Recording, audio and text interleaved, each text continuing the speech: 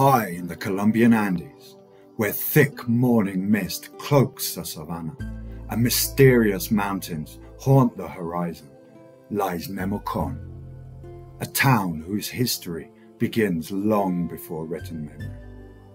Archaeology tells us that a ghost civilization of ancient Ice Age humans walked these plains more than 15,000 years ago, following mastodon herds, hunting small mammals, gathering plants, and leaving behind the first traces of life in South America.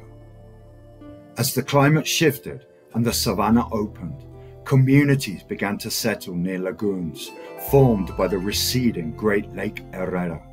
Small animals like guinea pigs were domesticated and the landscape crafted, and agriculture was born. By around 800 BCE, the ancestors of the Muisca people established permanent villages here. Salt, the white gold of the highlands, became the engine of their world. Nemocon rose as a center of extraction and exchange, a place where brine was boiled, salt was swapped for gold with neighboring and far flung tribes, ceramics and cloths were traded, and ritual life dominated the surrounding hills and mountains.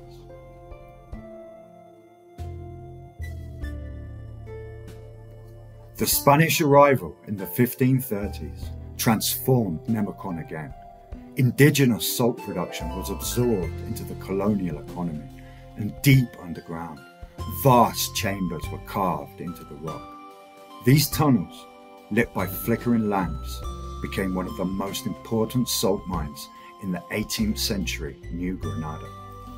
Through the transition to independence, to a republic, and to the modern day Colombia, Nemocon has remained tied to salt, to myths, and to legend, and Nemocon became the idyllic and bewitchingly beautiful Andean town of today, crafted over thousands of years of human history, and is today one of the richest archaeological areas in South America, a legacy to its ancient Ice Age roots.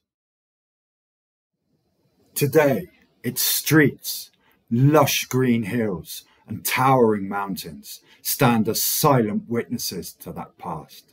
And it is from Nemocon, with its deep layers of time, that our journey continues towards the Badlands of Checua. Hi, this is Jason with Explore Colombia. Today we are in the Badlands of Checua, just north of Nemocon, and we're looking for a ghost civilization that left their DNA and then disappeared into nothing. A few kilometers north of Nemocon, on the windswept terraces of the Checua Badlands, archaeologists uncovered something extraordinary. Mummified remains hiding traces of a genetic lineage that no longer exists today. In remains dating back thousands of years, researchers identified a maternal haplogroup found nowhere else in the Andes, a lineage that appears to descend directly from the mysterious first humans who crossed into the Americas over 15,000 years ago. A true ghost civilization. This discovery suggests that the people of Checua were part of an ancient population that survived here in near isolation. Protected by the high paramos, cold plains, and the natural barriers of the Bogota Plateau, they lived generation after generation along the shores and on the islands of the Great Lake Herrera, with minimal contact from outside groups. The fact that they survived for so long in such splendid isolation suggests a large group of people thrived here. To maintain a lineage for so long and to maintain genetic diversity, an initial group of over 5,000 people would have been required, a much larger and organized population than the simple hunter gatherer theory suggests. This DNA carries the echo of those earliest migrants. Families who thrived here at the end of the last ice age, adapting to new landscapes, new climates, and new ways of life, while other lineages mixed, dispersed, or vanished through time. The Checua group endured, holding on to a genetic thread that stretched back thousands of years into the deep past. And then, at some point, that thread ended, wiped out by newer tribes arriving from the north. No signs of war or extermination have yet been found, which suggests that, as with the arrival of the Spanish, exposure to new diseases and pathogens may have played a part in their extinction. The lineage disappeared from the region, leaving behind only bones, tools, and a ghostly genetic signature that tells us that they were once here. A people directly linked to the earliest chapters of human presence in South America, which, with astonishing new dating from new finds in White Sands, America, and Monteverde in Chile, appears to stretch back to over 20,000 years. So, so these hills that you can see behind me would have formed the shoreline of the old Lake Herrera and would have been a prime habitation zone for the civilizations that lived here all those thousands of years ago.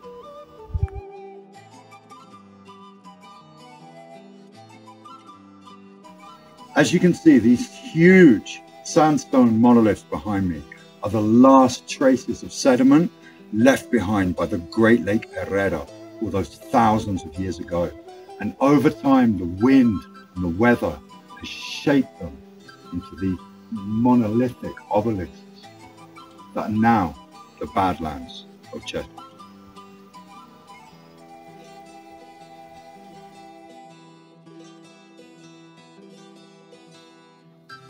To understand who the people of Checua really were, we have to travel back to the end of the last ice age. 15 to 20,000 years ago, the Bogota Plateau was a very different world. Colder, wetter, and far wilder than today. The savannah was dominated by the ancient Lake Herrera and a patchwork of smaller lakes, marshes, and open grasslands, surrounded by towering mountains and forested ridges, and capped by vast, chilly, and windswept paramos. In this landscape lived the first human families to settle the region. They followed herds of mastodons across the plateau, built temporary camps near water sources where they would have fished and crafted stone tools to hunt and prepare food. Their world was shared with megafauna. Glyptodons, great armored herbivores grazing by the wetlands. Giant sloths, slow moving, enormous creatures reaching several meters in height. American horses and ancient deer roaming the plains. And the fierce predators of the Pleistocene, including saber-toothed cats and the powerful and terrifying short-faced bear. For thousands of years, humans and megafauna lived side by side in this high altitude refuge. The plateau acted like a natural cradle, protected, resource rich, and isolated.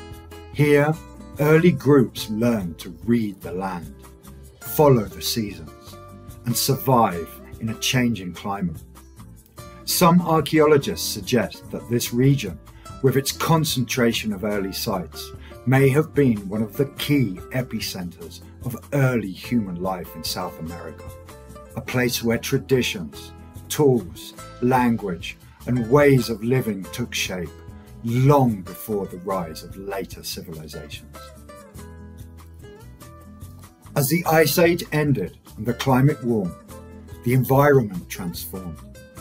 the megafauna disappeared, forests retreated, the Great Lake Herrera dried up, the open grasslands expanded, and the people of Checua adapted once again. They began to settle more permanently, experimenting with new foods and new forms of living. The hunting camps of the Pleistocene slowly evolved into early villages. By the Middle Holocene, these descendants of the ancient lineage were raising guinea pigs, managing local plants, and gradually moving towards early agriculture. Domesticated tubers, seeds, and cultivated plots began to appear in the archaeological record. Life was no longer only about following the land, it was about shaping it. This transition marks one of the earliest steps on the long path towards settled society on the Andean Plateau. From Ice Age hunters to early farmers, the people of Checua carried forward knowledge, memory, and adaptation. A cultural thread stretching back to the very first migrants who set foot in the region. The story of Checua does not rest on legend or speculation. It is written directly into the earth, in bones, tools, burials, and rare artifacts that reveal how these people lived and how deep their roots truly ran.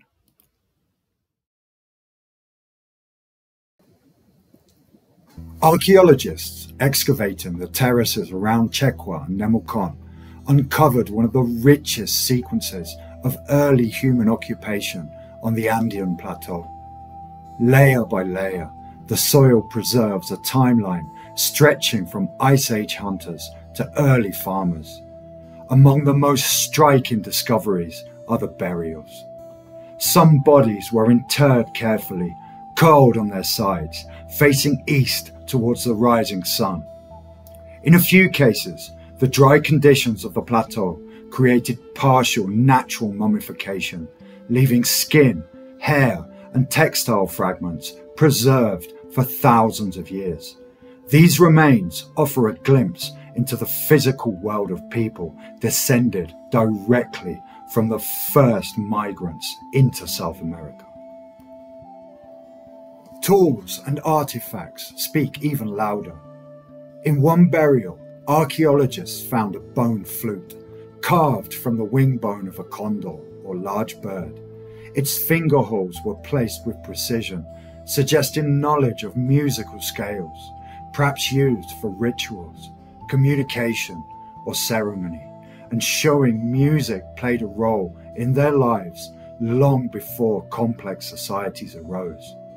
This single instrument is one of the earliest musical artifacts known from the Andes, a reminder that culture, emotion, and symbolic life were already developed here deep in prehistory. Together, the mummified remains, the musical instrument, the ancient campsites, and the megafauna bones form a single narrative that this region was not a marginal settlement, but a cradle of early human life, where some of the continent's early populations thrived, created art, buried their dead with intention and love, and left behind evidence that still speaks today, over 15 millennia later. These findings turn the Badlands of Checua into more than an archaeological site. They make it a window into the first chapters of human history in the Andes, a place where the sands of time hide memories of these ancient Ice Age ghosts.